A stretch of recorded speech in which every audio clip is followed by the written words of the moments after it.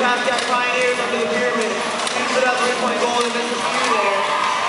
36-41 on target. It's like 40-39. Nations Robotics also moves the on their cycle. 13-34 shooting as well.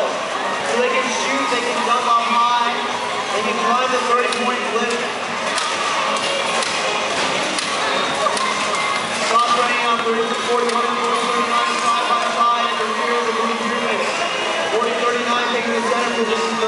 32 41 off to the side.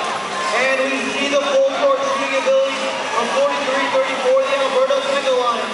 They're lined up for three points.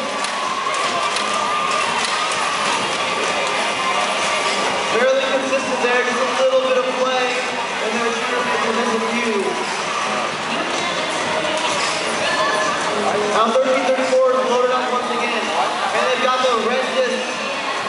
40-39 and 461 one side forward base trying to double up with